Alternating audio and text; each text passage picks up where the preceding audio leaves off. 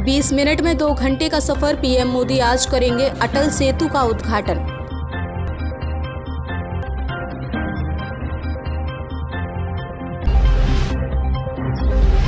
पंजाब में पशुपालन विभाग ने पशुओं को शीतलहर से बचने के लिए जारी की सलाह।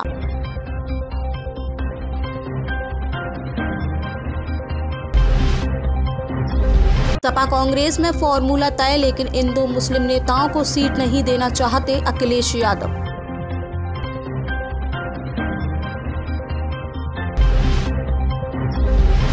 पश्चिम बंगाल में ईडी का फिर एक्शन, मंत्री समेत कई टीएमसी नेताओं के ठिकानों पर छापेमारी।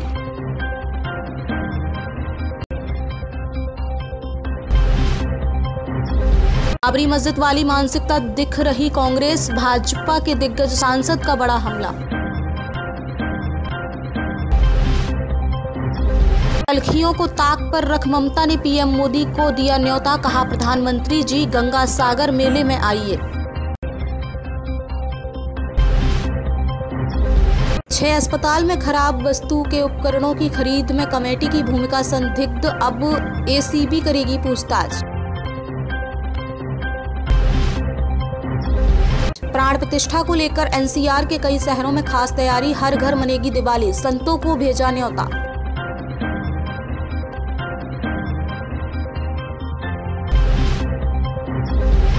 गृह मंत्रालय में नौकरी दिलाने का झांसा देकर 30 लाख ठगे, पुलिस की वर्दी पहनकर दिया जालसाजी को अंजाम।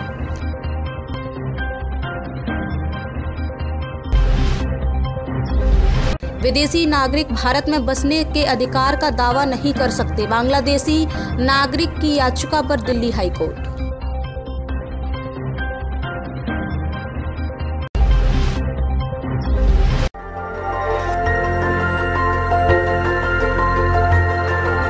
देखते रहिए डीबी भारती समाचार।